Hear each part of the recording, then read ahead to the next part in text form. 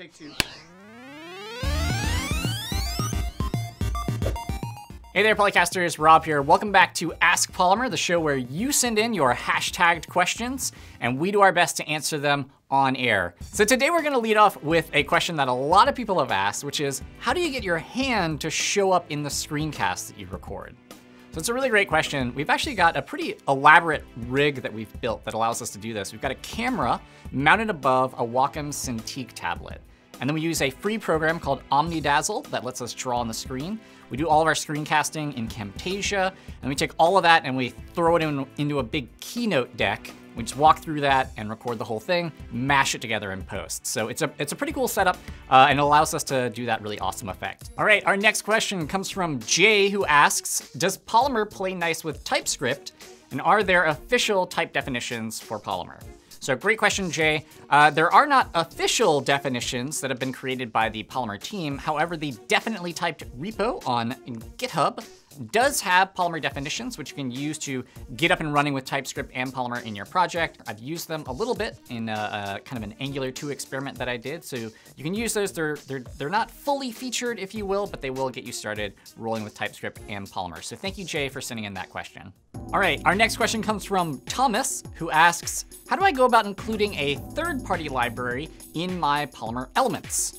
So good question there, Thomas. Uh, what I would recommend is creating an HTML import that contains the script tag for that third-party library, and then your elements can depend on that import. So you can see an example of this right over here from this uh, chart.js element set that I created. There's an import for chart.js. Everybody else depends on that.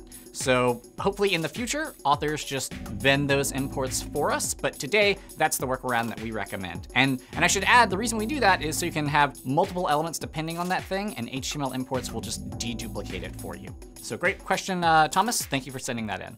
All right, our next question comes from Wheatley, who asks, uh, what would be the suggested way to do routing in a Polymer application? Excellent question, Wheatley. Uh, what I would recommend is you go check out a previous episode on using Page.js. That is actually how I've been doing it in my applications. Uh, we also did an episode on a, an element called more routing, but it's a little not so well maintained these days, so I'd recommend sticking with Page.js. Also, if you're interested, you can check out over here this uh, thing that we've been working on on GitHub called Web Component Shards. So that actually allows you to take your, your element bundles and break them up into pieces and maybe lazy load them. This is still very experimental, but uh, this might be our long-term solution to allowing you to lazy load stuff with your router. So uh, thank you so much, Wheatley, for sending in that awesome, awesome question. All right, our last question comes from Paul, who asks, are there plans to add paper elements for date and time pickers? Great question, Paul. Uh, we wanna make sure that before we go and create new elements, that we've got our current paper elements as buttoned up as possible. So that means, you know, fixing bugs on them, making sure that they're really polished, that the APIs do everything everybody wants. So there's no near-term plans to add those extra elements because we wanna focus on the set that we currently have. However, having said that, there are community members who have created their own implementations of both of these. So you can check out a date picker here and a time picker over here.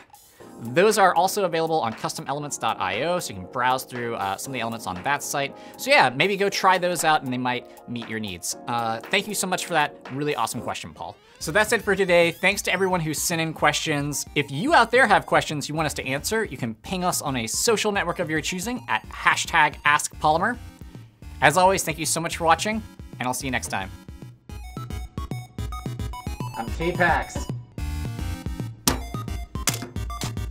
That's a wrap.